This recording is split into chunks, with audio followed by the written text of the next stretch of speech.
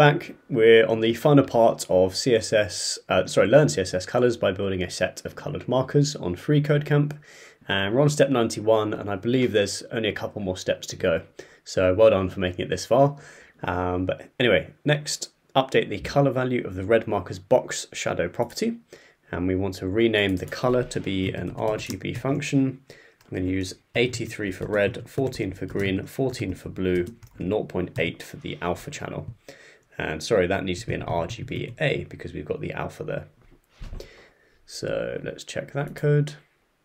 Perfect. So the shadows for green and blue markers will have the same position, um, blur and spread. The only difference will be the colors. So for the green and blue, which are these ones, um, we want to update the box shadow. So that will all be so 0, 0, 0. Bot, um, blur radius is 20 pixels.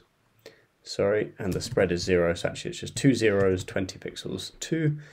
And then we want to leave the colors. And what I'm going to do is just copy that and put that down here as well.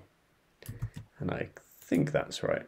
Well, certainly that looks like it's applying the right um, blur and radius. Perfect. So step 93, for the green markers box shadow property, place the named color with a hex color code.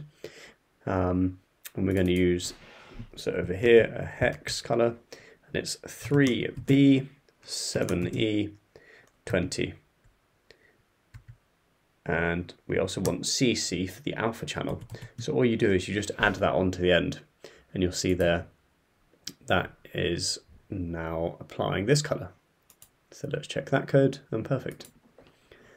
And then step 94, finally, for the blue markers box shadow, replace the named color with the HSLA function. So I'll do HSLA and we'll open that up. And for so for hue, it's 223, 59% saturation, 31% for lightness, and 0.8 for the alpha channel. And so I think we need a comma there. And there we go. That is looking like the shadow. You might not be able to see it on my screen here, um, but it's, it's looking good. Cool, and that passes. And there we go. I think that was the um, yeah, the, the end of the challenge. That was learn CSS colors by building a set of colored markers. So thanks for watching the whole thing. Um, hope it was useful. And as you can see in the next videos, we'll be building a HTML registration form. So yeah, look forward to seeing you there. Thanks for watching.